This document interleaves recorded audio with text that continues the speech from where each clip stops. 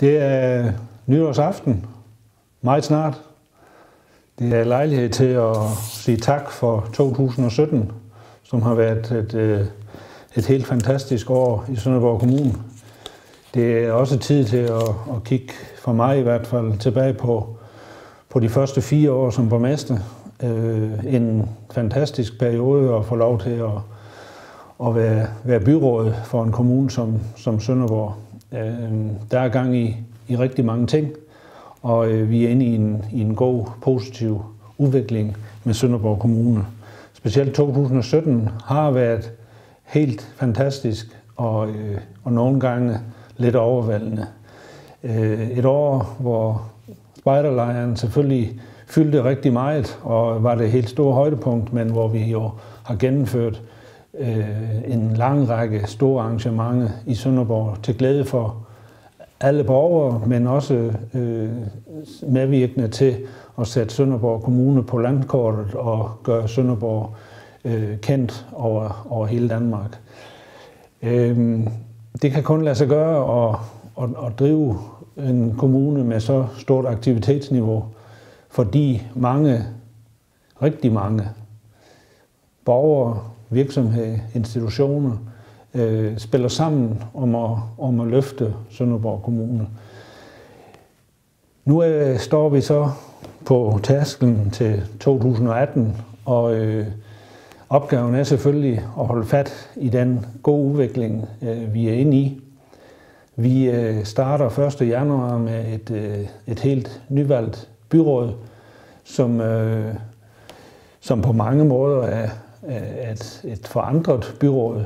Færre partier, mange øh, nye, energiske øh, kandidater blev valgt og, øh, og står klar til at tage fat. Og det er jo for mig som borgmester glædeligt at have et byråd, som, som bare brænder efter at, at komme i gang med at udvikle Sønderborg endnu bedre og med at gøre tilværelsen for borgerne i Sønderborg Kommune øh, endnu bedre. Vi har i de sidste 3-4 år sagt, sat rigtig mange skibe i søen i Sønderborg Kommune. Dem skal vi have i havn. Vi skal øh, holde fat i den udvikling, der er i gang på, på havnen i Sønderborg. Vi har nogle kæmpe projekter, som skal, skal øh, bygges færdigt, og som skal øh, indvies i de kommende år. Det bliver rigtig spændende at, at se øh, byens havn øh, folde sig fuldstændig ud i de kommende år. Men rundt omkring i hele vores kommune er der jo gang i andre store projekter.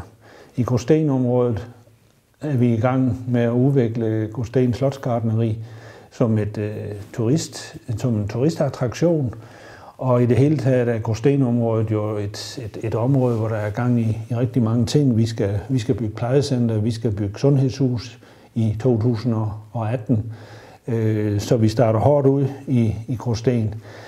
Øh, Nordals Ferieresort, som øh, jeg tror bliver et fantastisk projekt og et fantastisk løft til Nordals, og som kan øh, være omdrejningspunkt i det, i det arbejde, som jeg fornemmer, at hele byrådet er enige om, der skal til øh, og, og, og sættes i gang for, for netop at, at løfte den nordlige del af, af Als, som jo stadigvæk desværre er hårdt ramt af eftervirkningerne af, af finanskrisen.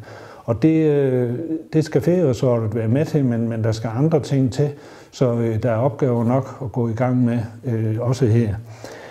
Øh, vi øh,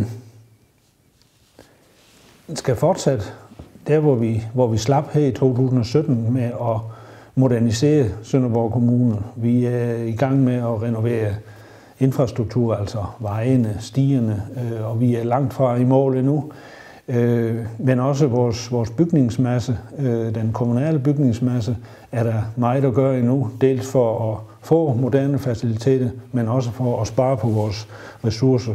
Og på den måde bevæger jeg mig så også over i Project Zero, som er stadigvæk, og for mig, vores helt store fyrtårn. Bæredygtighed generelt, øh, mener jeg, skal være styrende, ledende for arbejdet i byrådet, men egentlig for hele Sønderborg Kommune. den her lille bold fortæller jo om de 17 verdensmål, som FN har udstukket, og hvor vi jo i Sønderborg faktisk er godt på vej med nogle af de vigtigste. Specielt selvfølgelig på klima og energi, hvor vi, hvor vi har øh, et, et stort forspring. Men, men der er masser af andre øh, elementer i de her 17 verdensmål, som vi allerede arbejder på. Øh, uddannelse til alle, øh, fødevarer, øh, den sunde, de søde, øh, sunde fødevarer osv. Og øh, jeg håber, at byrådet de, øh, vil fortsætte med at arbejde i retning af at leve op til de her øh, 17 verdensmål. Det skal i hvert fald være mit input til byrådet, når vi nu her i foråret skal øh, kigge på, hvad skal vores visionspapir egentlig indeholde. Øh, det er sådan, at, at byrådet træder sammen her i januar, men i marts der mødes vi på et, et seminar, hvor vi ligesom stikker linjerne uge for de, for de næste, ikke bare fire år, men måske for de næste ti år.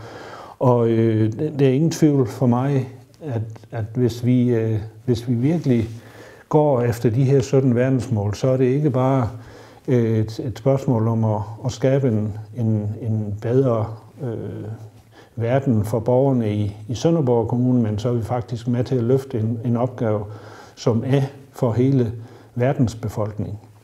Øh, og det kan vi både have stor øh, glæde af, men vi kan faktisk vise det sig jo også tjene penge på at blandt andet øh, øh, arbejde på energirenovering, energi, øh, grøn energiproduktion, hele den her omstilling, som vi har været i gang med i 10 år, den skal vi fortsætte, og den øh, kan faktisk være med til at løfte øh, Sønderborg Kommune yderligere. Men så handler det jo også om at blive ved med at gøre Sønderborg Kommune attraktiv, for vi har fortsat den udfordring, at vores befolkningstal det, det falder ikke så kraftigt, som det har gjort i, igennem nogle år, men, øh, men der er udsigt til, at vi fortsat vil få et fald i befolkningstal, hvis ikke vi, hvis ikke vi gør noget. Og det gør vi jo så også. Men, øh, men det skal bestemt også øh, være en fastholdende proces. Og, øh, og det handler jo om at gøre Sønderborg Kommune attraktiv og, og for, for tilflyttere, for virksomheder, som vil flytte hertil, og øh, for de unge mennesker, øh, som man enten ikke flytter væk herfra, men eller i hvert fald får lyst til at komme hjem igen. Og øh, det synes jeg faktisk, vi er, vi er godt på vej med, men, øh, men der er masser at gøre endnu. Og øh, det glæder jeg mig rigtig meget til. Jeg glæder mig til 2018. Jeg glæder mig til de næste fire år, hvor jeg så heldigvis får lov til at, at, at være borgmester. Det vil jeg gerne også benytte lejligheden til at, at sige mange tak til de mange borgere, som har valgt at sætte deres kryds ved mig personligt, eller ved det flertal, som, som har arbejdet igennem fire år på at, at, øh, og skabe den gode udvikling i Sønderborg. Det er øh, for mig en fantastisk øh, øh, opbakning, jeg føler til det, vi har gjort, og, og det giver mig bare lyst til endnu mere, lyst til at arbejde drønhårdt for Sønderborg Kommune i de kommende år. Men jeg gider kun, hvis alle I, borgere, virksomheder, institutioner vil være med. Det er så sådan set heller ikke i tvivl om, at I vil. Det bliver et, øh, endnu et forrygende år, 2018, i Sønderborg. Det er jeg helt sikker på. Godt nytår til jer alle sammen.